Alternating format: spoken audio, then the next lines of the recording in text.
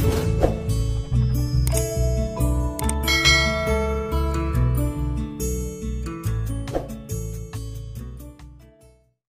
friends welcome back to my channel ఈరోజు నేను మంచి రోటి పచ్చడితో మేము ముందుకు వచ్చేసానండి. అదేంటంటే గుంటూరు స్పెషల్ గోంగూర పచ్చడి.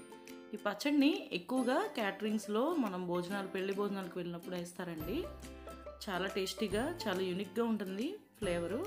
ఈ రెసిపీ వచ్చేసి మా హస్బెండ్ వాళ్ళ సిస్టర్ దగ్గర నేర్చుకున్నాను నేను. లేట్ చేయకుండా ఒకసారి వీడియోలోకి వెళ్దాం. ముందుగా ఫ్రెష్గా కడిగి పెట్టుకున్న ఒక నాలుగు కట్టల గోంగూర అలాగే ఎండుమిర్చి పచ్చనపప్పు వెల్లుల్లిపాయలు ధనియాలు కొంచెం మెంతులు జీలకర్ర అలాగే చిన్న సైజు చింతపండు అనమాట ఇవన్నీ నేను రెండు రెండు టేబుల్ స్పూన్ చొప్పున తీసుకున్నానండి ఒక్క మెంతులు తప్ప.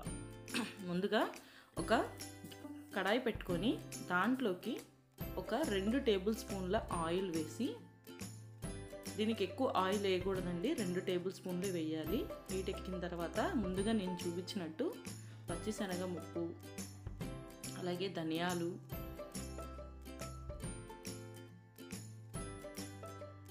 జీలకర్ర వెల్లుల్లిపాయలు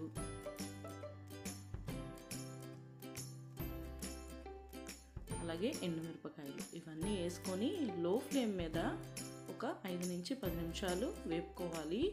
ఇవి వేగిన తర్వాత మనకి మంచి అరోమా మన కిచెన్ అంతా పట్టేస్తుందండి. ఎందుకంటే కారపొడి ఫ్లేవర్లా వస్తుంది మనకి ఇది దీన్ని మనం పౌడర్ చేసి స్టోర్ చేసుకుంటే ఒక వన్ మంత్ వరకు నిల్వ ఉంటుందండి ఇది. ఇన్స్టెంట్గా ఎప్పుడు కావాలంటే అప్పుడు మనం దీన్ని పచ్చడి చేసుకుని ఈ పౌడర్ జస్ట్ దాంట్లో కలుపుకుంటే సరిపోతుంది ఇప్పుడు ఇలా ఫ్రై అయిన దాంట్ని ఒక మిక్సింగ్ జార్లోకి తీసుకొని కూల్ అవ్వడానికి నేను పక్కన పెట్టానండి. అలాగే మనం ఇందా ఫ్రై చేసుకున్న ప్యాన్లోనే ఒక ఐదారు టేబుల్ స్పూన్ల ఆయిల్ వేయాలి. ఎందుకంటే గోంగూరకి మనం వాటర్లో కాకుండా జస్ట్ నూనెలో మగ్గ పెడుతున్నాం అనమాట నిల్వ ఉండడానికి. కాబట్టి కొంచెం ఆయిల్ ఎక్కువే పడుతుంది. ఇలా ఆయిల్ హీట్ ఎక్కిన తర్వాత ఫ్రెష్గా కడిగి పెట్టుకున్న గోంగూరని యాడ్ చేసుకోవాలి. ఇలా యాడ్ చేసుకున్న తర్వాత నేను చూపించినట్టు చిన్న నిమ్మకాయ సైజ్ అంతా చింతపండు నేను యాడ్ చేశానండి. ఎందుకంటే ఇది పుల్ల గోంగూర కాదు. కాబట్టి నేను వేశాను. మీకు పుల్ల గోంగూర దొరికితే చింతపండు వేయాల్సిన అవసరం ఉండదన్నమాట. వాటిని లో ఫ్లేమ్ మీద బాగా దగ్గరికి మగ్గ పెట్టుకుంటే మనకి గోంగూర ఇలా రెడీ అవుతుంది.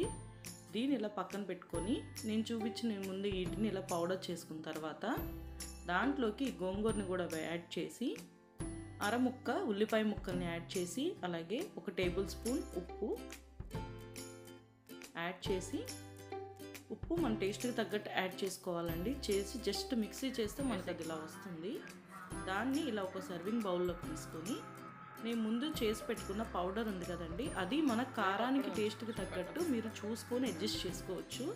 ఇక్కడ నేను మూడు నుంచి నాలుగు టేబుల్ స్పూన్లు యాడ్ చేసి ఇలా కలిపి పెట్టుకున్నాను. ఇలా కలిపి పెట్టుకున్న తర్వాత ఒక అరబద్ద సన్నగా తరిగిగా పెట్టుకున్న ఉల్లిపాయ ముక్కలను యాడ్ చేయాలండి. ఇదే మన పచ్చడికి చాలా డిఫరెంట్ టేస్ట్ అనేది ఇస్తుంది. తింటుంటే అక్కడక్కడ అలా పంటికి చిన్న చిన్న ముక్కల్లా తగులుతూ ఉంటాయన్నమాట ఈ ఉల్లిపాయలు. ఇప్పుడు పోపు పెట్టుకుందాం. ముందుగా ఒక పోపు గిన్నె తీసుకొని దాంట్లో ఒక రెండు టేబుల్ స్పూన్ల ఆయిల్ని యాడ్ చేసుకోవాలి. ఇలా ఆయిల్ హీట్ ఎక్కిన తర్వాత నేను ఇక్కడ తాలింపులు కలిపి పెట్టుకున్నానండి. అవి నేను వేసుకున్నాను. అవి కొంచెం చిటపటలాడాలి. ఆవాలు అలా చిటపటలాడిన తర్వాత రెండు ఎండు మిరపకాయ ముక్కల్ని కూడా యాడ్ చేసుకోవాలి. అలాగే కొంచెం కరివేపాకు.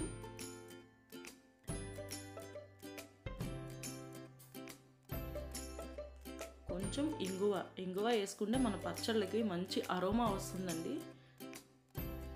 ఇలా తాలింపు కూడా కొంచెం లో ఫ్లేమ్ మీద వేపుకున్న తర్వాత ఒకసారి స్పూన్తో బాగా కలుపుకొని మనకి తాలింపు బాగా వేగాలి లేదంటే పచ్చి పచ్చిగా ఉంటాయన్నమాట. లో ఫ్లేమ్ మీద ఇలా ఫ్రై చేసుకొని మనం ముందుగా తీసి పెట్టుకున్న సర్వింగ్ బౌల్లో ఉన్న పచ్చడి మీదకి తాలింపు వేసేసుకుంటే మన గోంగూర పచ్చడి రెడీ అయిపోతుందండి. ఈ గోంగూర పచ్చడి మనకి మినిమం ఒక టెన్ డేస్ దాకా నిల్వ ఉంటుందండి ఫ్రిడ్జ్లో పెట్టుకుంటే. ఎందుకంటే ఆయిల్లోనే మనం మగ్గబెట్టాం కదా ఎక్కడ వాటర్ వాడలేదు కాబట్టి.